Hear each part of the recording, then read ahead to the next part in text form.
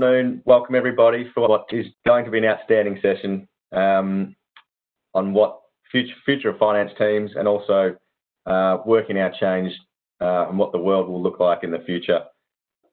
So I'll start off with the current situation and how you're all dealing with it. Uh, there's a lot of talk, I guess, with the finance people that I talk to around you know, scenario analysis, forecasting, reforecasting at such high levels. Um, how have you each approached it, and what what we have done differently um, looking back sort of six months ago, if you go back in time, uh, and how you're you sort of seeing the recovery um, in your businesses and wider in terms of the recovery from the economic downturn? And you're seeing, you know, V/U step recoveries, further downside?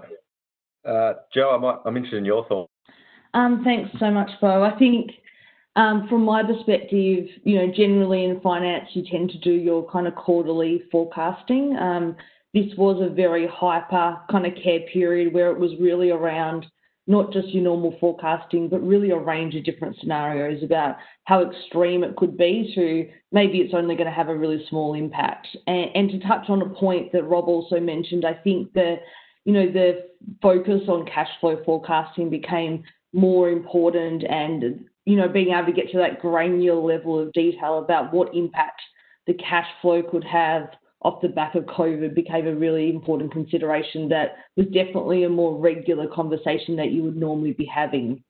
I think um, you know, in that early stage, and if you reflect back on from a learning perspective, because all of us ran different scenarios, Um, one of the reflections of things that I think we did well was really looking at the key levers and value drivers in the business. So what are the key things that really drive the business's activity, their financials, the cash flow, and understanding the sensitivity and scenario analysis around those key drivers, I think was something that we did really well.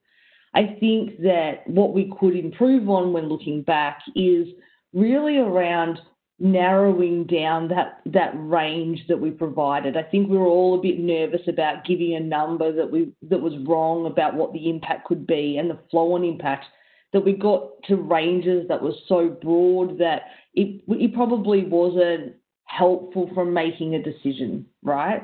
And I think that you know it's a really interesting one because most of us were doing this on the fly. The reality is we only had the information that was in front of us, and it was hard to see what some of the impacts were actually going to be. And I think a couple of things that I I kind of thought were interesting is early on in March, um, in a company I was working with at that time, um, actually we thought that in in our export market, we were going to hold up really, really well because actually in March, what we saw was people were panic buying, and therefore it was hard to actually see what the run rate trend was actually going to be. So March and early April showed this certain trend, and then all of a sudden that kind of came off. And so we we probably got a little bit of a shock because we didn't really necessarily understand what was going to continue to trend and what was actually just a bit of a a bit of a dip, right, or a bit of an up that was going to go down again.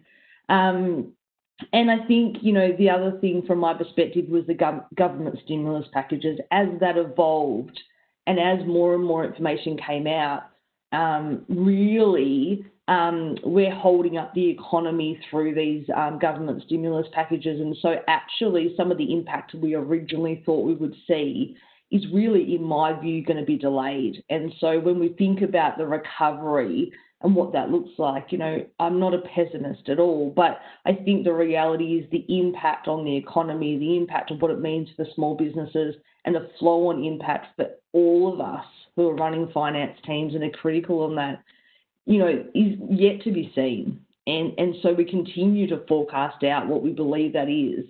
Um, I think as we do that, Bo, we've just got to continue to really narrow in on what are those key drivers and those value drivers and not get too broad a range so that we can make good recommendations um, to our CEOs and to the people that are running the business um, to make sure that you know, we're giving them the information, but we're giving them really valuable insights as well as just a forecasting kind of model.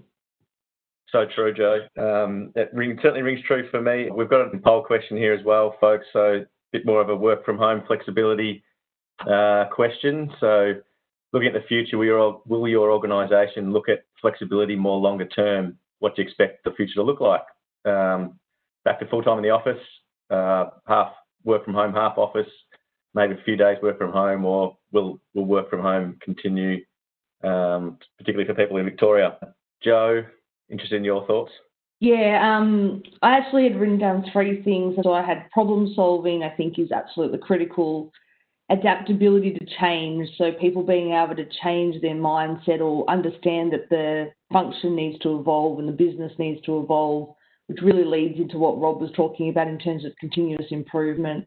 And my third point was really the ability to influence the business. So, you know, to Rob's point on business partnering, you know, having the capability in the team to be able to actually drive and influence the business's decision making is kind of critical. So those are the kind of key items that I had, Bo. So stay stay with me, Jo. I've got another question for you. while while um, while I'm about to do that, we've got a, a third poll just on flexibility, which uh, from a flexibility perspective, how can leaders create flexibility for team members during lockdown? So I think Jo just touched on it earlier around giving extra time or days off, meetings only in set hours. Um, so what's the what's the preference there? Thank you. So Jo, while I've got you um, with the current situation and investment in business and transformation has definitely taken a, a hit, and a lot of businesses have swung into survival mode. Mm. Uh, may you give us some insight into your current transformation status and investment profile and focus, and two, what's what the future looks like from a technology perspective. Uh. Interested in your thoughts? I know there's a lot of big projects on at the yeah. moment where you are. yeah, no, it's good. Um, I, I think, you know, I break the project question probably into two elements, which is, um, you know, I believe that finance needs to be very heavily involved in making sure that the business are making good prioritization decisions about the whole project portfolio that an organisation is trying to do. Um, so I, you know, most companies at the moment are trying to save cash, um, and really they're trying to make sure that they're focusing on on things that matter. So it's really been for us a pivot or a review of what we're actually doing and what are the elements that are critical. And in some cases, it's new projects and we're pausing old projects. And in some cases, it's accelerating some of the projects that we've got um, under our belt. And I think that actually making sure that you're not just doing what was already in the original budgeted plan, but actually doing that pivot piece. And, uh, you know, the finance team are heavily involved, not only in the finance project space, but more broadly to do the business case and analysis to make sure that we're actually making the right decisions. So if we've got X millions of dollars that we want to spend, how do we best spend that money to get the best outcome for the business? And I think that um, it's never been so important to be really clear about what your prioritization framework is and how that links in to the strategy of the organization. And, you know, most companies would be in the same boat. It's really about how quickly you pivot and how and how you make good decisions around investments right now is going to set you up for what it looks like in six to 12 months time. From a technology perspective, touching on a couple of things that Rob said earlier, um, I'm very um, passionate about the use of data and analytics, um, you know, in finance, but more broadly in the organisation. More than ever, us do we really understand our customers and their trends and how they've changed over the last three to four months and what we believe that looks like from a predictive analytics perspective. And I think that the finance team has got a great role in in really understanding the data and analytics and bringing the insight to the business on what that looks like. So, you know, um, you know, most finance teams are focused on, you know, how do we automate some of the processes? What does that look like? What does the data and analytics piece look like? But I think in the current environment, Bo, what you're seeing is an acceleration of a lot of those things, right? Things that maybe it was an 18 month program of work. We don't necessarily have 18 months to do it. And so we have to actually decide which are the most important bits. And I, I do think organisations that come out of the COVID environment the strongest are going to be the ones that have used their data and analytics and used some of the technologies to actually help drive great decision making. And so it's an uncertain environment, but leaning into building some kind of view about what it looks like and what it means and how do you prioritize becomes critically important. Thank you.